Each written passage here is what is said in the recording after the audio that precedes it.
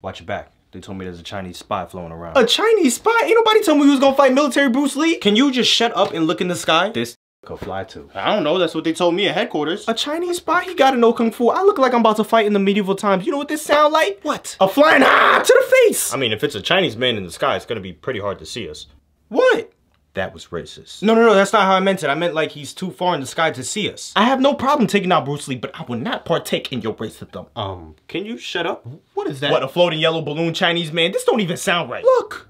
Is that a yellow balloon? Chinese? I don't know, it's just a balloon that says not a spy and the eyes are squinted. You know, this is so racist. Wait a minute. Is the Chinese spy a balloon? Yeah, a balloon full of racism. That explains what they meant by floating. Yeah, I was wrong. This thing doesn't know. Uh, no, why would I shoot you? Just pop it. There is no popping, he knows kung fu. Oh man. Did I shoot you? You didn't have a pen or a knife?